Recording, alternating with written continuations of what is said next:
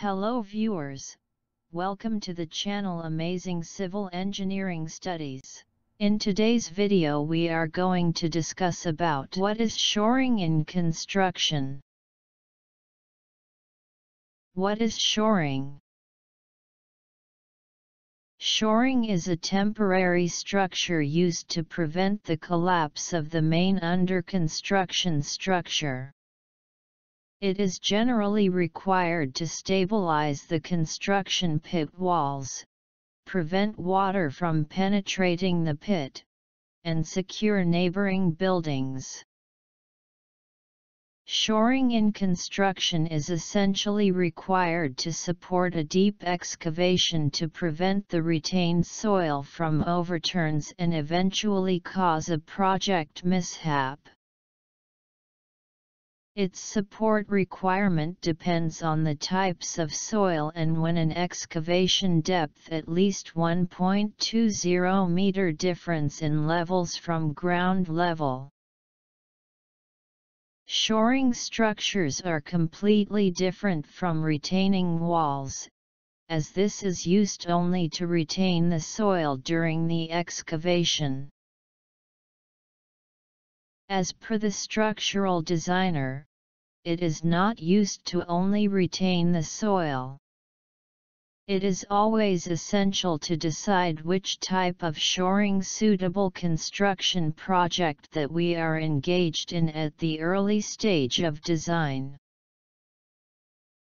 What is shoring in construction?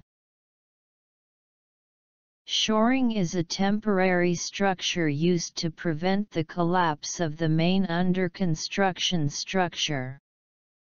The most commonly shoring support is required during the early stage of construction which is excavation. Shoring definition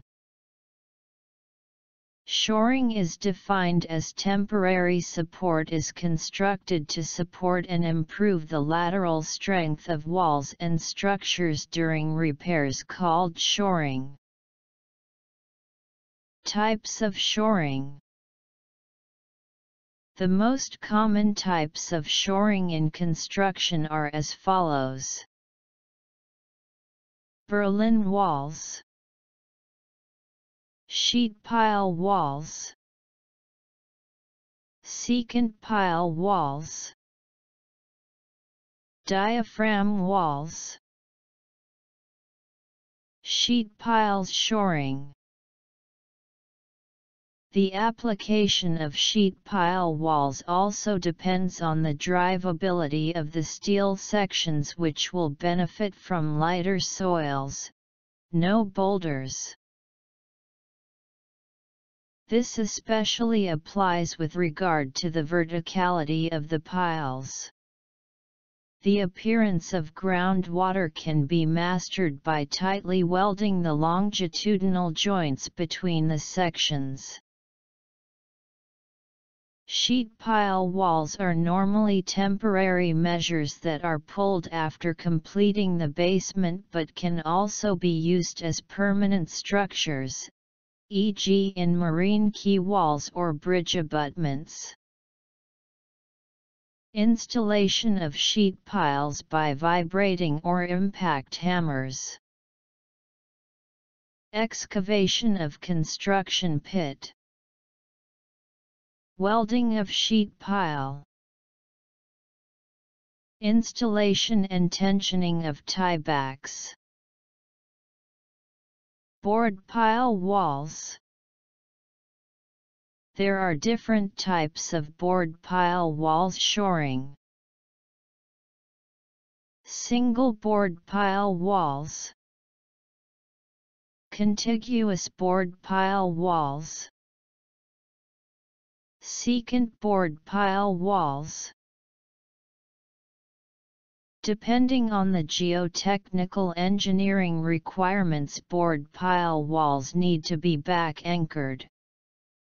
Part of the final structure, secant bored pile walls, subway, Munich, single bored pile wall, slope retaining wall, Horum.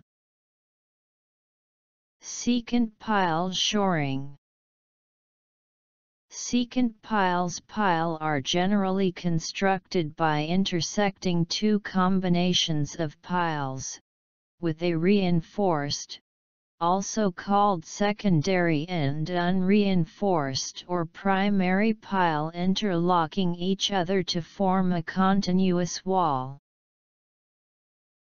A guide beam is constructed before to keep the installation of piles in alignment in place. Secant pile shoring mainly used in deep excavations.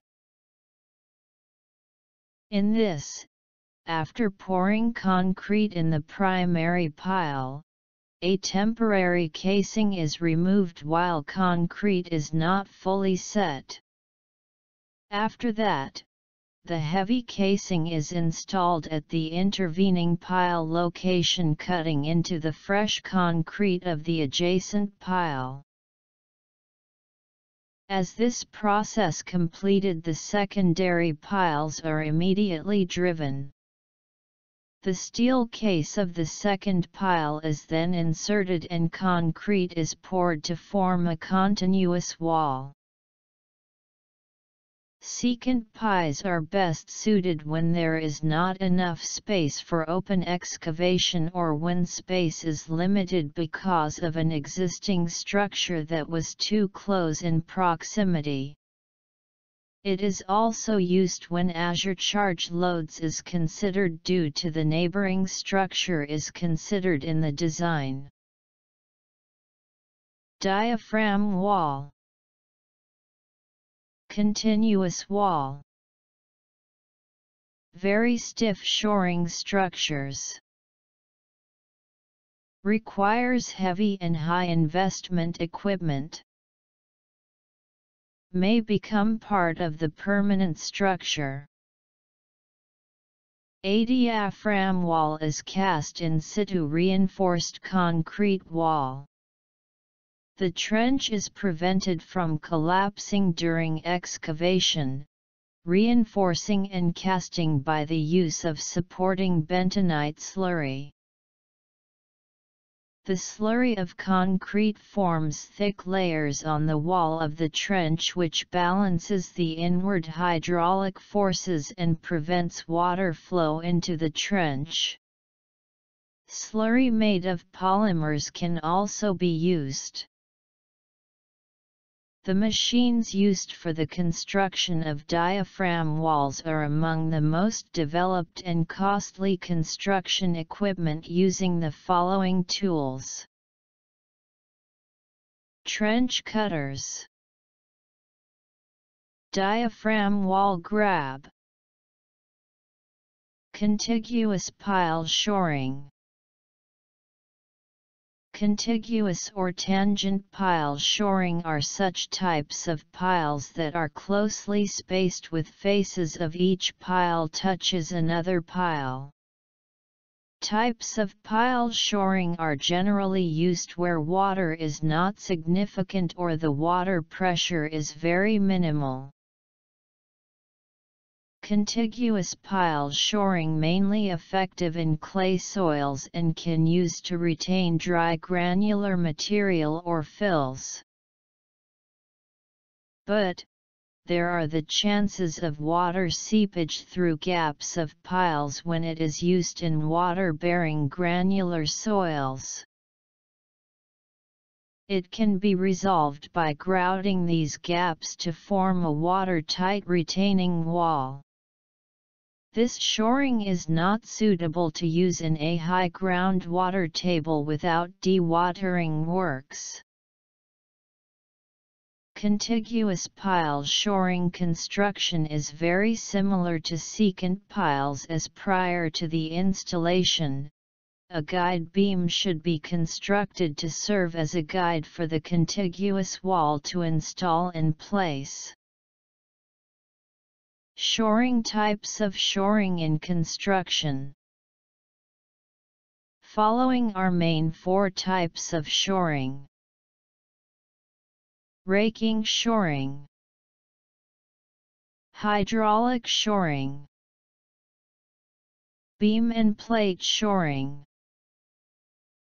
Soil nailing shoring. Raking shoring. Raking shores is constructed by placing one or more timber beams to the face of the structure to be supported in the ground. Ranking shoring is more effective if the raker meets the wall at an angle of 60 to 70 degrees. The wall plates are generally used to increase the area of support. Hydraulic shoring Hydraulic shoring is generally use hydraulic pistons which are pumped outward until they press up against the trench walls. This pistons are normally combined with steel plate or plywood, either being 1-1-8 thick plywood, or special heavy Finland 7-8 thick. Beam and plate shoring Beam and plate steel I-beams are first inserted in ground and then the steel plates are slid in amongst them. A similar method is utilized in the case of wood planks is called soldier boarding. The hydraulic support used tends to be faster and easier, the other methods tend to be used for longer-term applications or larger excavations. Soil nailing shoring Soil nailing is a method of shoring in which an excavation soil slopes or retaining walls are strengthened by inserting reinforce elements in then like steel reinforcing bars. The hole in the soil is a pre-drilled hole and then grouted into place or drilled and grouted simultaneously. These elements are generally inserted at a slight downward inclination which offers better protection against any drawdown action. Why do we need shoring? Shoring in construction is essentially required to support a deep excavation to prevent the retained soil overturns and eventually cause a project mishap. Its support requirement depends on the types of soil and when an excavation depth at least 1.20 meter difference in levels from ground level. Thanks for watching. For now, please subscribe, like, share and do not forget to press bell icon.